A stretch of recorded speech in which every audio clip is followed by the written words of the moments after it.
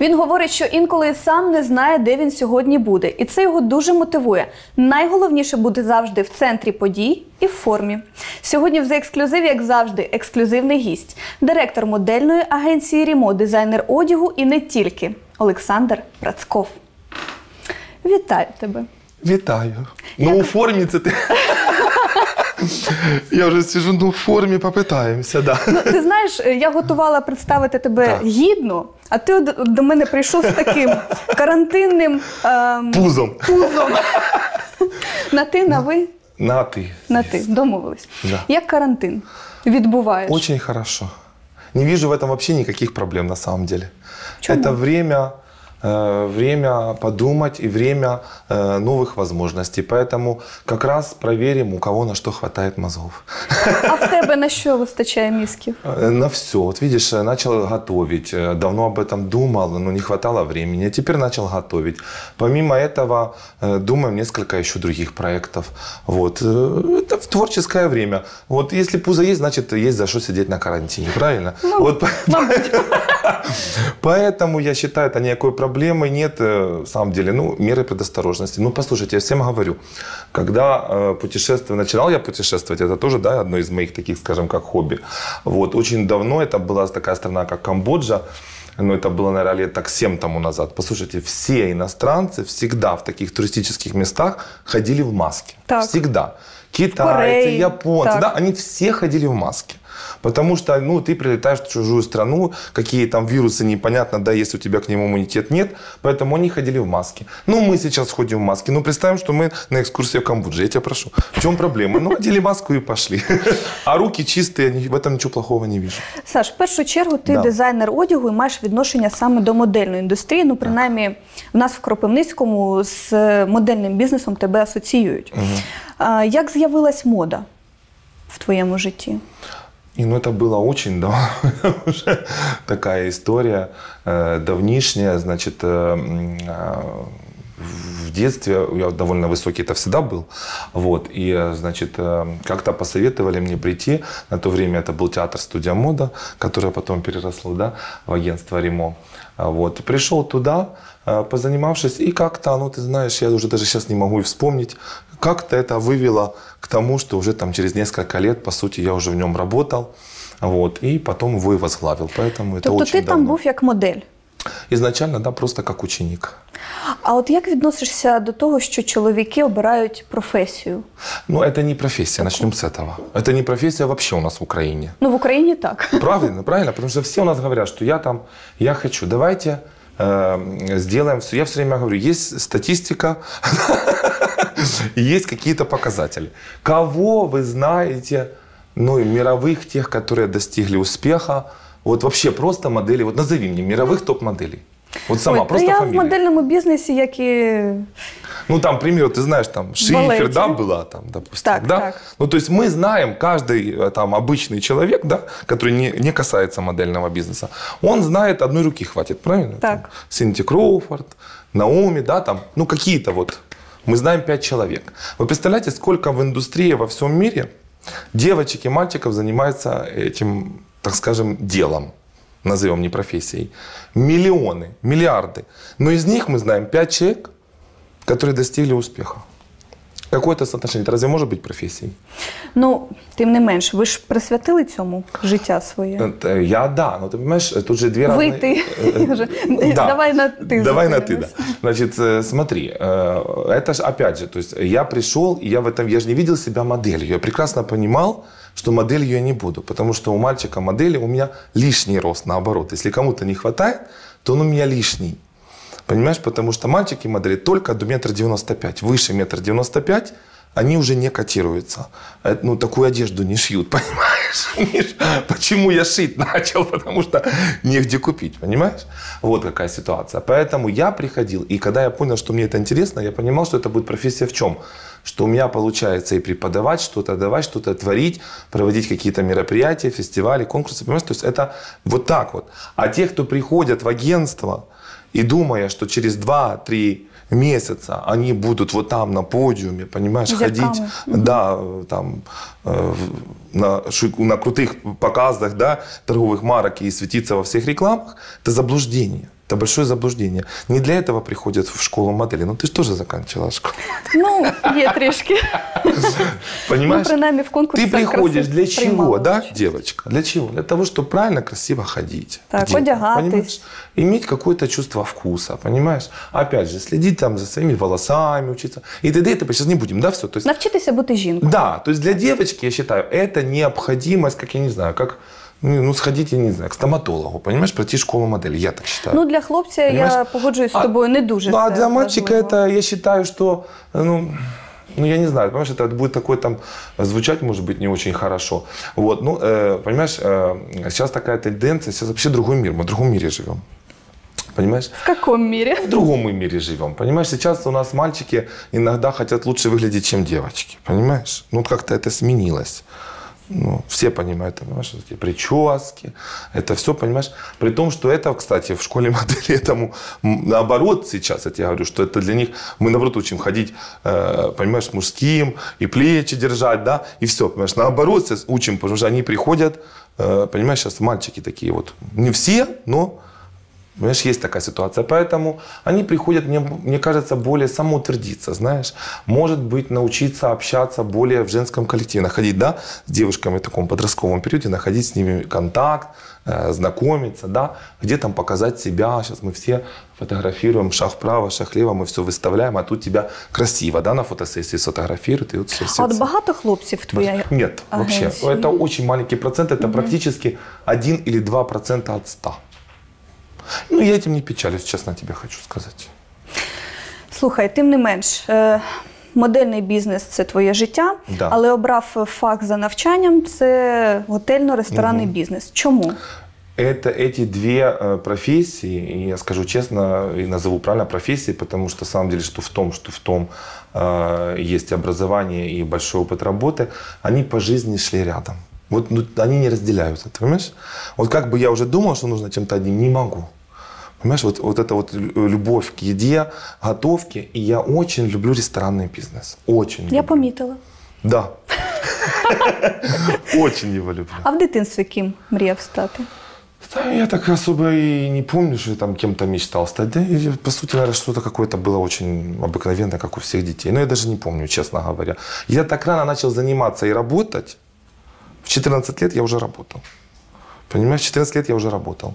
Поэтому, э, я думаю, и мечтать не было. Когда вот как-то оно так сложилось, и оно пошло. То есть в 14 я уже работал, значит, где-то в 12-13 я пришел в агентство. Понимаешь, как у меня все рано началось? Слухай, ну я так думаю, в ті роки особливо там модельна агенція чи все, що пов'язано з цим бізнесом, е, мабуть, не дуже сприймалось на чоловічому рівні. Як батьки віднесли, що ти пішов в цю індустрію? Э, Ты понимаешь, в чем вопрос? У меня вообще с родителями это очень хорошая вещь. Они э, э, с детства так меня воспитывали, я всегда имел свое мнение. Поэтому особо, особо никаких у меня проблем с этим не было. И, кстати, в те года, я хочу сказать больше, в Кировограде именно был расцвет модельного бизнеса в те года. Потому что агентств было намного больше, чем сейчас. Намного больше. Проводилось мероприятий намного больше. И мне кажется, тогда это даже где-то было и очень даже престижно. Ну вони підтримували. Да, у меня с этим проблем никогда не было. Они меня вообще Е, а поддерживали. от впродовж життя будь-які твої рішення, там те, що ти на майстер-шеф пішов, чи пу- в тебе таке публічне життя. Ну, Ти виставляєш і відео про себе і знімаєш там буденне е, своє життя. Чи батьки підтримали? Ты понимаешь, це? в чем вопрос? Э, Они всегда узнавали постфактум всего. Даже с цветами за скорбами э, уже, э, я уже когда собирал сумку летать. Поэтому это все я всегда решаю сам. А чим вони займаються в тебе? Ну, мама у меня уже нет как три года, вот, а Співчуваю. отец, да, а отец, отец у меня занимается, он инженер, он занимается телевидением, там все ремонтирует телевизоры, короче, вот это сервисный центр. А мама ким була? Мама была дома, дома, дома. Жінка. Да. Професія жінка. Да, да, Сумуєш? да. Очень. Это самая большая трата в жизни. А вона, ну я перепрошую, Боліла, що я да. вона хворіла, так. Да, очень долго. Поэтому это одно из таких самых, не одно, а самое трагическое, что было в жизни. Все остальное ерунда. За своє життя, в принципі, в тебе багато різних проєктів, починаючи від, а, ну я маю на увазі модельних, я Да. за це маю на увазі. Там конкурси краси, королева і княгиня, до цього ти дотичний, і дитячі конкурси, і чоловічі, взагалі різні. Який один проєкт ти можеш е, виокремити в такий наймасштабніший і найефектніший?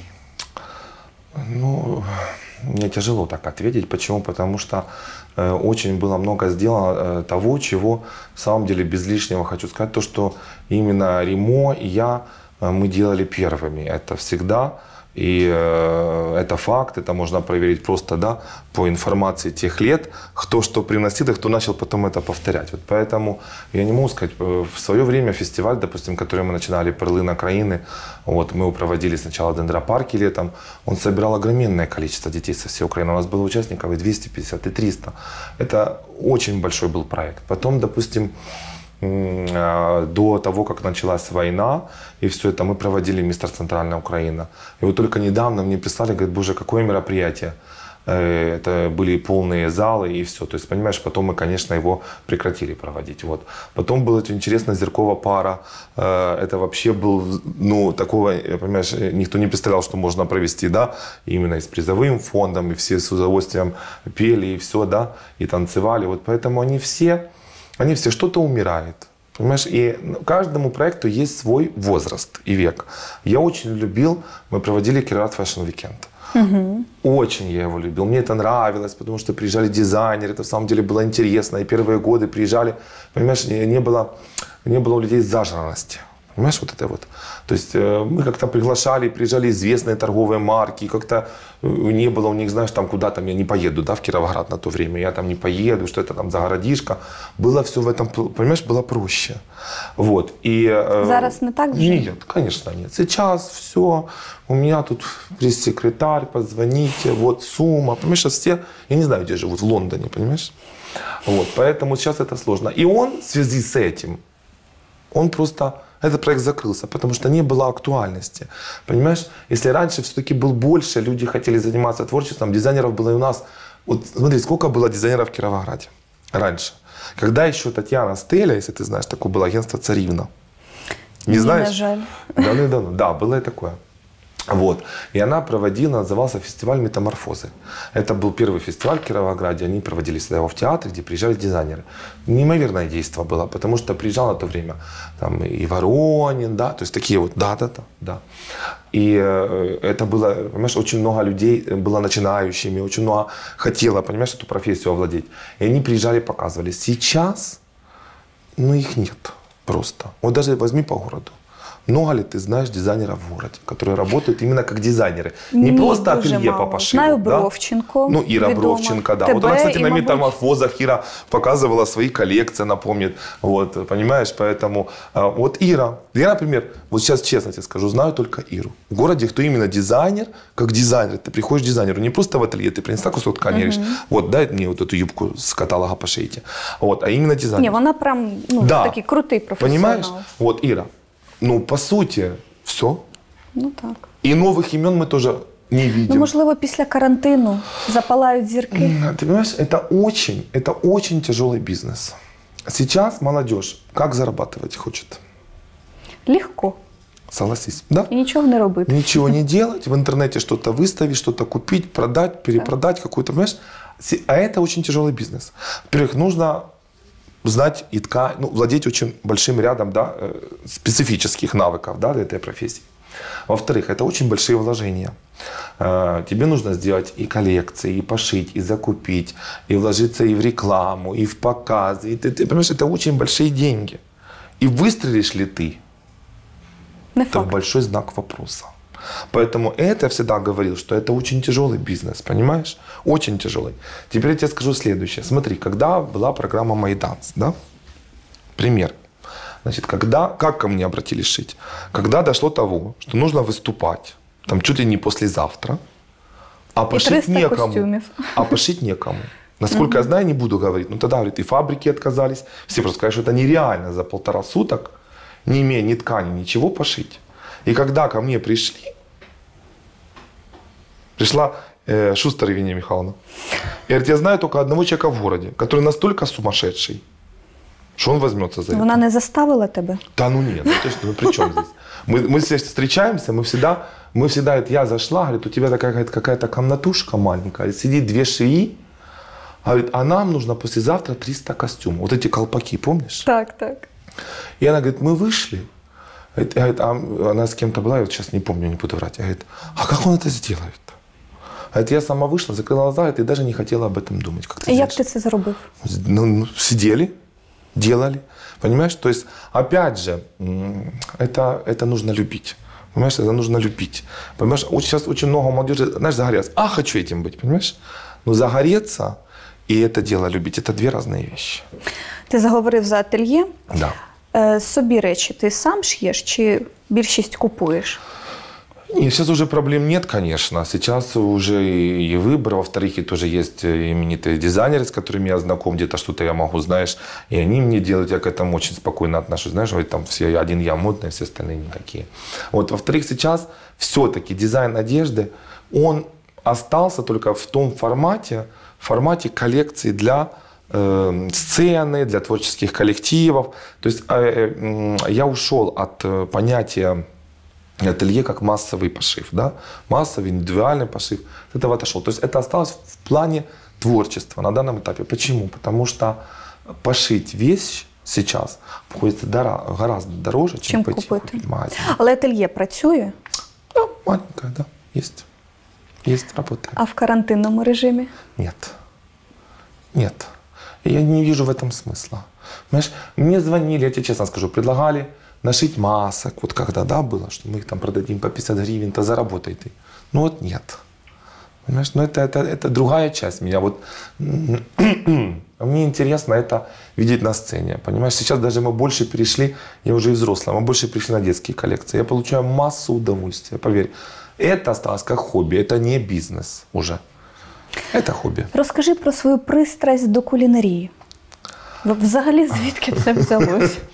Ты понимаешь, во-первых, я с детства очень люблю готовить сам. С самого ранее даже не, не помню когда. Вот. Во-вторых, как-то так по жизни у меня получилось, э, что я то уходил от модельного бизнеса, приходил к ресторанному. И мне очень нравится сама эта система. Э, Вот, значит, э, м, понимаешь, тут же тоже, как тебе сказать, стоять поваром, Э, я попробовал, но э, это, это очень тяжелый труд. И э, это нужно, понимаешь, это адский труд стоять. Вот. Меня больше интересует сам ресторанный бизнес. Понимаешь, я очень много, не могу, к сожалению, говорить, то есть очень много кому помог именно э, то есть люди обращаются, я идею, то есть мы делаем Концепцию. концепцию ресторана, все. Вот из последнего то, что я управлял тоже сетью всеукраинской ресторанов, вот я создал меню для 30 ресторанов, сейчас оно успешно работает в Киеве, вот и, и сезонное меню для них разработал. И это очень интересно м, э, мне в плане, понимаешь, самого этого бизнеса. То есть э, тут же, понимаешь, ресторанный бизнес, как и мода. Он же меняется каждый месяц практически.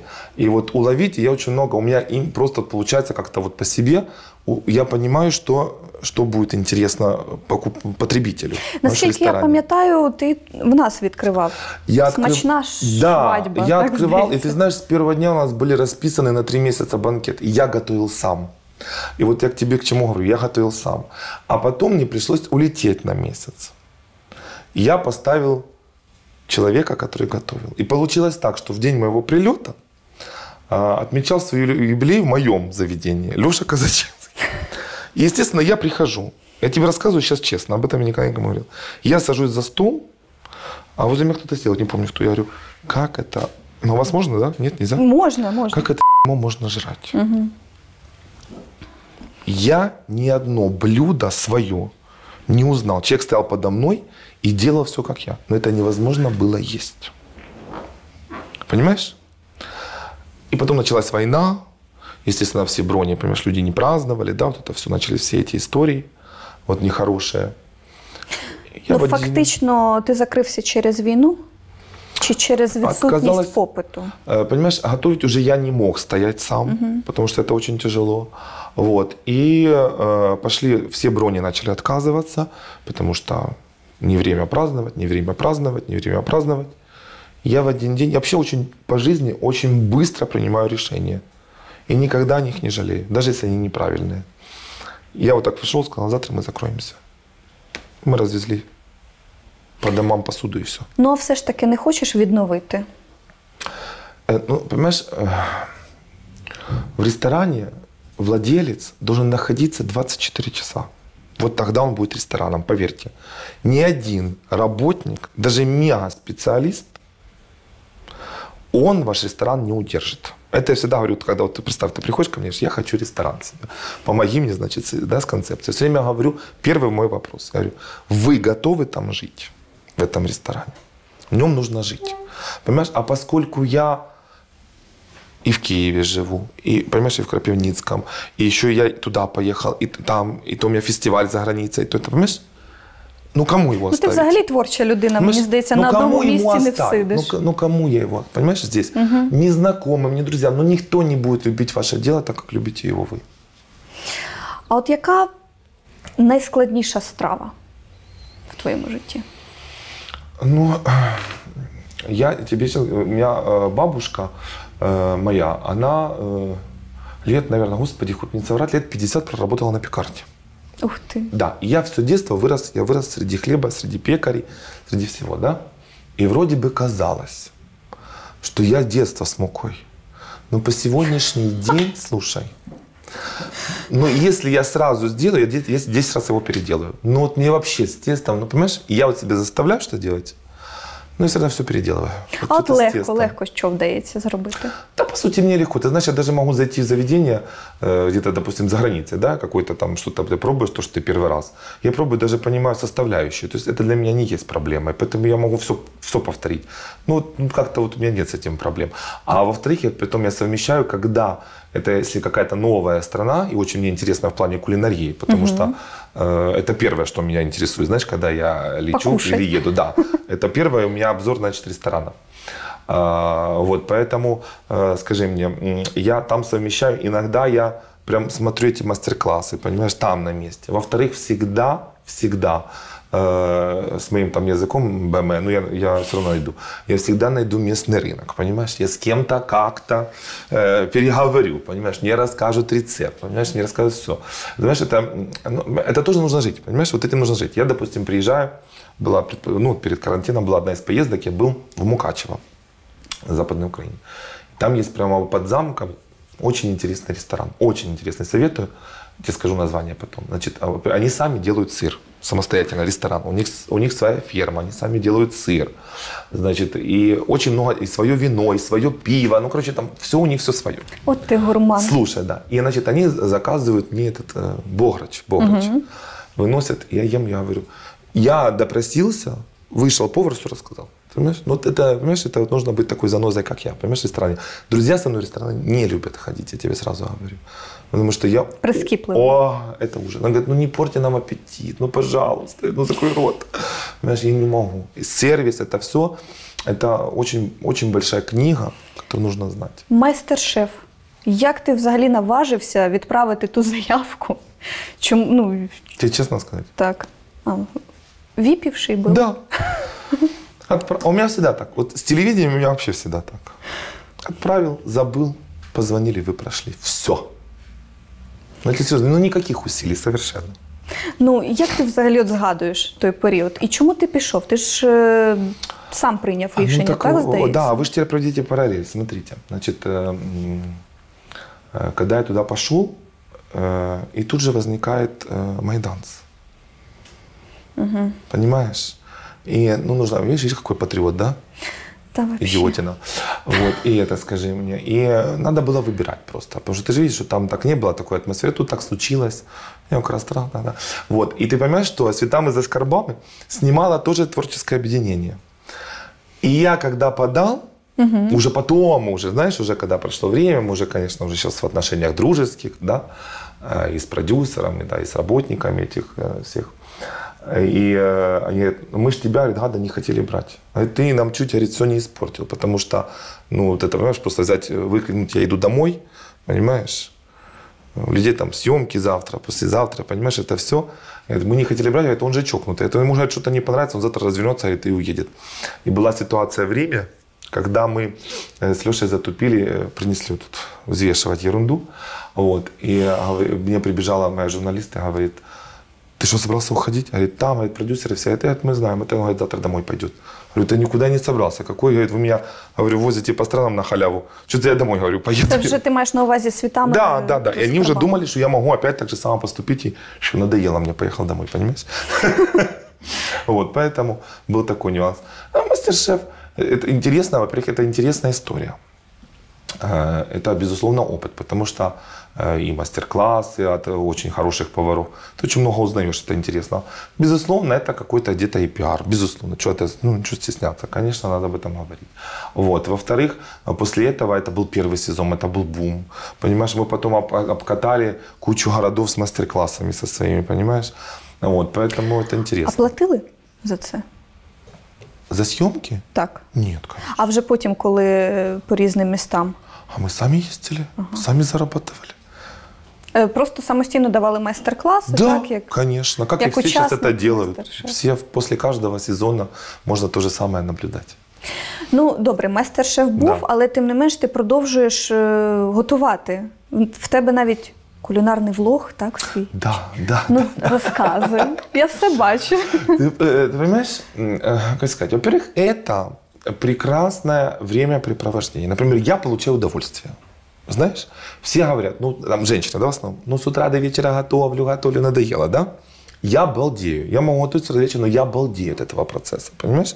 Это мне нравится просто как процесс. Вот. Во-вторых, когда у тебя, ты же понимаешь, когда у тебя получается, и те, кто пробует, и тебя хвалят, ну, как, это тоже приятно, правильно? Тебя похвалили, это тоже приятненько, да? Вот. Во-вторых, интерес, понимаешь, э, как это, как возникло то, что я меню создал, понимаешь? Я себе, тебе скажу честно, я себе думал, просто решил, что я там, я был сначала управляющим одного заведения в Киеве, и я думаю, я себе хочу персональное меню. И я дома просто отфотографировал то, что я видел, и просто сделал фотографии. Я просто-просто показал владельцу.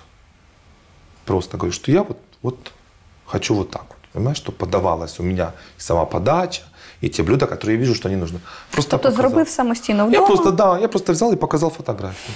Следующее было э, движение вот таким. Он берет эту пачку и в руку мне ложит прекрасную сумму за то, что я это сделал. Все. То есть, по сути, я думал о масштабе просто одного заведения и ввести какие-то новшества, просто поменять, сделать сезонное меню. Понимаешь? Вот. А получилось так, что это выросло большой проект. Вот. Поэтому, понимаешь, это финансово интересно, честно тебе хочу сказать. Потому что, вот видишь, дизайн ушел, эм, мероприятия мы сейчас проводить не можем. Понимаешь? А как вернутся дети нам на обучение? Большой знак вопроса. Вообще ко всем. Не только ко мне и в те же самые танцевальные. Все, потому что, знаешь, ребенок, когда ходит, он входит в колею, понимаешь? Что это как дано. А когда такой большой перерыв, вот как его потом заинтересовать? Змотивувати. А теперь еще добавь к этому э, финансовое состояние родителей после вот этой всей истории, да, которая закончится, безусловно. Это будет большой знак вопроса. Это все. Поэтому, ну, мне же не 12 лет, мне нужно как-то жить, понимаешь? Поэтому, а рестораны есть, были и будут, и люди их открывают, и открывают, и открывают, понимаешь, и обращаются, поэтому это финансово интересно. Тварі і варі. Твори и вари. Значит, э, просто варю, да, как мы все сейчас. Вот сейчас Ставку на інтернет зробив. Нет, вообще не для заработка. Я в этом деле тупой, и тупее меня, наверное, нет. Я тебе серьезно говорю. Вот, поэтому ставка была на что? Я что-то приготовил. И как мы все, да, вот сейчас на карантине, понимаешь? Сейчас же все стали кулинарами, смотри, все так. готовят. Ну и как? А я раньше, там, что знаешь, пирожки спек и выставил в Facebook. Что начинается следом? Дай рецепт, дай рецепт, дай рецепт, дай рецепт. Писать в мессенджере я ненавижу, понимаешь, это вот все. И я думаю, это просто для тех моих вот э, друзей, знакомых, и- и, понимаешь, мы были в шоке, когда ну, мы начали получать, я говорю, давайте мне приветы, да? И началось там Берлин, э, Литва, э, понимаешь, такие какие-то острова, которых я даже и названия их не знаю, понимаешь, этих островов. И там смотрят, вот это уже было, конечно, новшеством. Но это дело для того, чтобы просто мои рецепты мне не писать. Я себе готовлю, общаюсь, и люди записывают рецепт. Вот с этой целью было. Потому что я это люблю, и кому-то навер... не наверняка, если, я даже если смотрит тебя 10 и 15 человек, Понимаешь? Ты уже кому-то что-то делаешь хорошее. То есть, безусловно, сидит человек, и там настроение плохое, он включил со мной, посмеялся, выпил бокал вина, понимаешь, поржали, э, что-то интересное приготовили. Потом есть интерактив. Они фотографируют это блюдо, присылают мне. Я его вставляю, подписываю. У них же, ты понимаешь, как это? А, вот, вот мое произведение. Понимаешь? Это интересный интерактив, интересное времяпрепровождение. Хотели чуть ли не каждый день. Я же не, понимаешь, это ж э, кажется, когда ты просто сидишь, тебе так легко, да, это все, это нужно смонтировать. Так куча времени. Сейчас перешли один раз в неделю. Я поизвинялся, говорю, извините. Ну и продукты. Я не успеваю всем, понимаешь, просто заниматься. Ну это, это очень много времени. И снимать, потом монтировать, потом это все. Это столько времени надо, понимаешь? А я это все сам делаю. Понимаешь? Ну, вот у меня помогает э, друг мой, вот он снимает, да, угу. и он там на телевидении работал, поэтому он мне там как-то хоть, понимаешь, вот, потому что я тебе серьезно говорю, вот в чем в чем, но в этом вообще у меня полный. Повний ноль. Світами за скарбами. Да.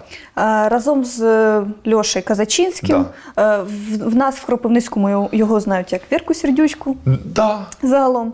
Ви вирішили... Хоча жалко, що тільки так його знаю. Ну, Видиш? Це так, щоб люди зрозуміли, я маю на увазі, да. про кого ми говоримо. Ви вирішили піти в цей проєкт. Слушай, це вирішив. Також... Це я вирішив. Під... Нет. Нет. А, а его заставил под этим, да. Значит, я тебе расскажу эту историю. Я вообще подавался с другим человеком. Совершенно. А с кем? Я подавался, э, там была такая интересная, мне знакомый есть, он верующий. И понял, я думал, сыграю на этом, я вот это, понимаешь, вот это, как я, понимаешь, все. Но не отпустили с работы. А мне уже говорят, все, ты уже в проекте. То есть, э, а утверждали, знаешь, как там тоже типажи, ты понимаешь, ну, ты тоже в телевидении, ну неинтересно снимать человека, который, понимаешь, будет сидеть мямлить. Ты это прекрасно понимаешь. Не, ну вы еще та парочка. Да, ну, найдите кого-то. Да. Леша, как ты говоришь, бороздит села. Гастроли, концерты. Я ему... Вот надо вот сегодня решить, понимаешь, вопрос. Либо меня снимают и ищут других людей. А як ти вмовив його? Ну, я же тебе рассказывал. Значит, он едет с гастроли, я ему звоню, говорю, срочно заедь ко мне. Он говорит, да ты что, мне рано, мне филармонию я никуда не поеду. Я говорю, Леша, срочно, говорю, ты не, я же не шучу никогда, говорю, срочно, говорю, бери бутылку, едь ко мне. Вот, и он приехал, говорю, выпей, выпей, выпей, выпей. А потом говорю, мы, говорю, послезавтра едем с тобой, будем улетать. Представь, а он Напоил на трех, он на трех, а он на трех работах. Говорит, ты что, чокнулся? Я никуда говорит, не полечу, не поеду, даже не разговора. Ну вот как раз бутылка закончилась, и Леша согласился. Все, тут мы без травки, уже все. Понимаешь, а это же был период, нужны были э, биометрические паспорта. Одно из условий.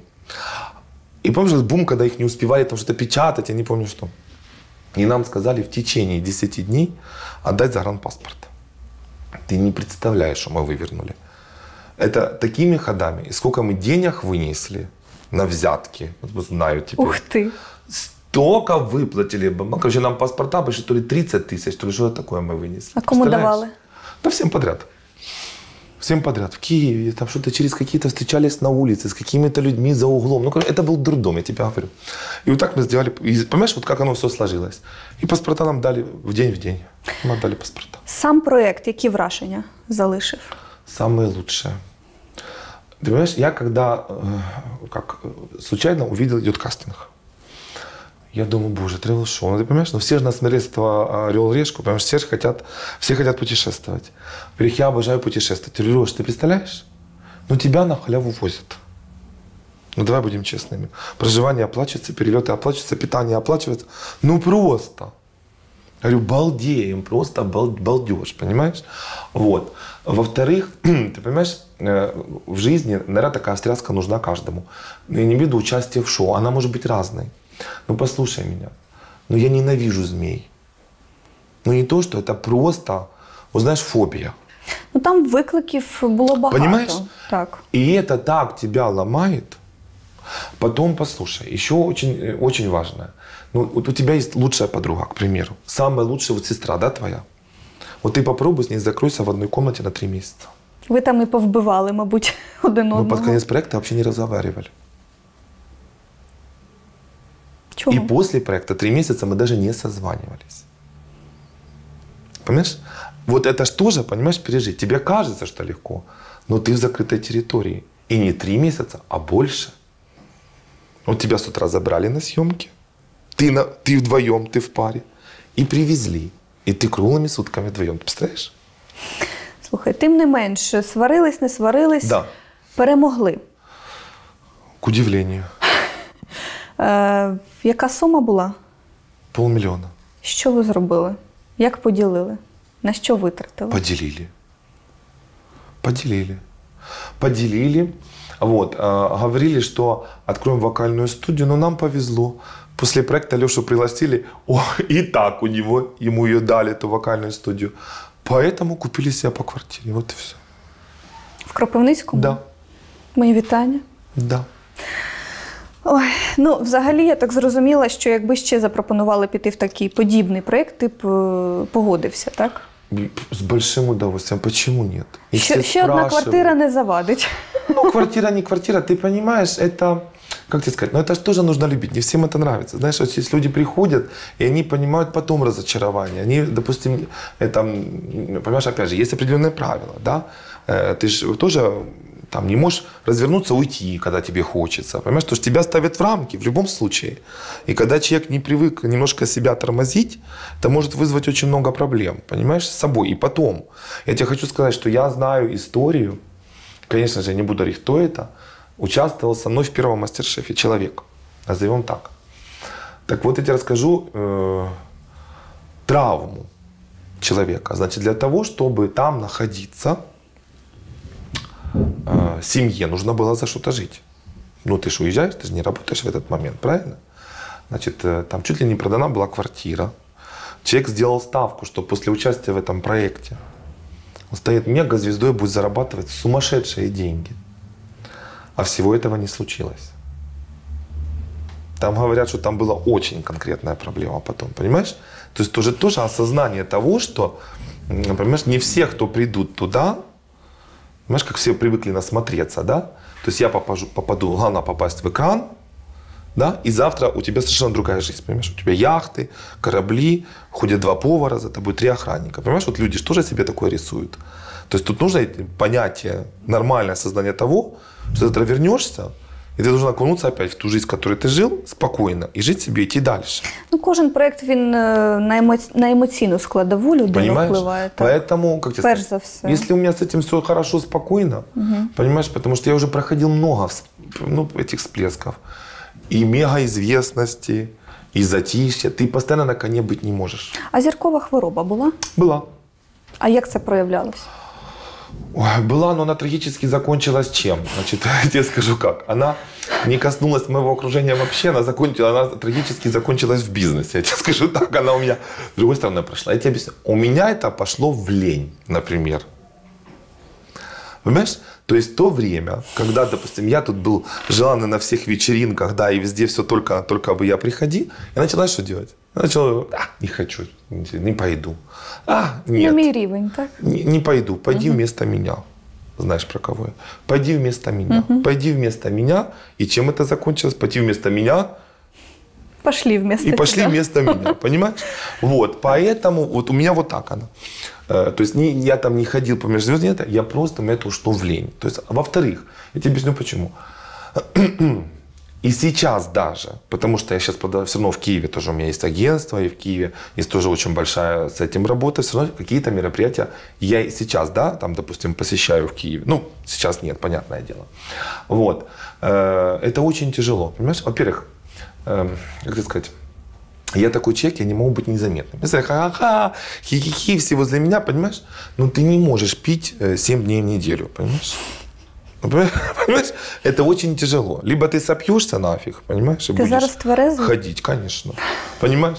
Поэтому это очень тяжело. И от этого начал отказываться. Понимаешь? Потому что уже звали не понять куда. Понимаешь?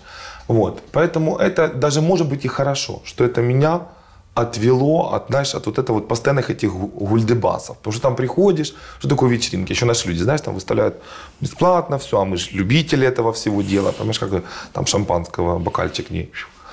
Понимаешь, а потом второе, нужно халяву.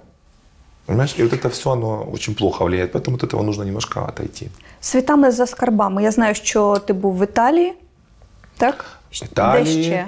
Германия и Вьетнам. Окрім цих країн, де ще бував і е, що найбільше вразило з кулінарної точки зору? Ну, я вообще люблю очень Азию. Сразу говорю, если люди, знаешь, есть люди любители Европы, вот я, меня наоборот. У меня вот там, где дохлые крысы, где вот это все, вот это, это, это мой кайф, ты понимаешь, я балдею от этого. Вот, поэтому, и там вот это все, понимаешь, вот это, это колорит, понимаешь? Ну, ну, ну, ну, ну, ну, ну, и, ну, Европа. Ну, приехала ты, ну, ну, ну, красивое здание. Ну, давай будем честными. Ну, чистая под- подметенная улица, да? Ну, что, ну нет вот этого колорита. Ну розумієш, для того, щоб полюбити Азію, треба побачити Європу. Понимаешь, Мабуть. ну, в Европе тоже я был, но все-таки больше Азия.